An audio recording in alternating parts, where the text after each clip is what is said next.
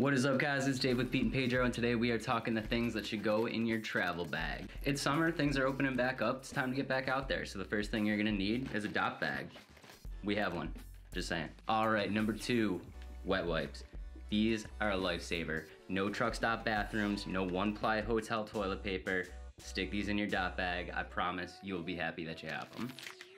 Number three, shampoo and conditioner. We have our clean and condition in a travel size set. Super easy, make sure you got the best shampoo and conditioner with you no matter where you go. Number four is my travel size salt and mini putty.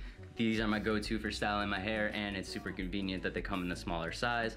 Take these with me, make sure my hair looks amazing anywhere I go. Number five is my body wash and my body scrubber. Now, no hotels give you bar soap and a washcloth. Not for me.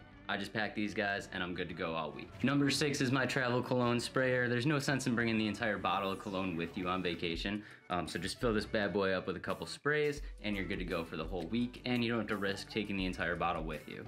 Number seven is my travel comb and I take this with me all the time. I do use a comb to style my hair and this one's super convenient. It's small, compact, does the job, fits nicely in the dopp bag and makes sure my hair looks great all the time. Number eight is mini Vaseline. They make these little jars, I guess you would call it, of Vaseline, very travel size and compact.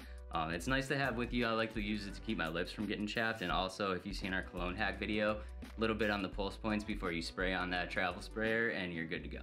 All right, guys, a few more things for me. I do wear contacts, so I'm gonna always make sure that I have a contact case and a travel size solution with me. Of course, a toothbrush and a travel size toothpaste and throw your deodorant on top of all that and you're good to go for the whole week. Like we said, it's summer and things are opening back up. So grab your dopp bag and get back out there.